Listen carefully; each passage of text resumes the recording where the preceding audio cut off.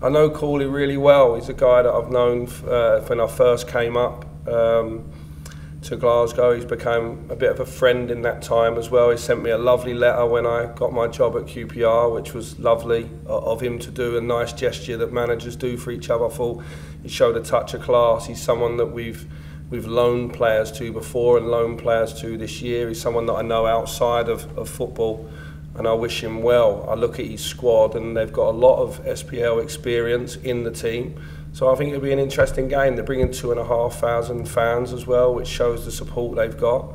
Um, we just need to keep pushing our standards and our and not dropping from it in terms of our attitude and energy. I'm still looking for a greater uh, level of performance, albeit I think at times we played very well. I still want to push for more. Uncensored, unbiased, unmatched. The Football Show on PLZ Soccer's YouTube channel.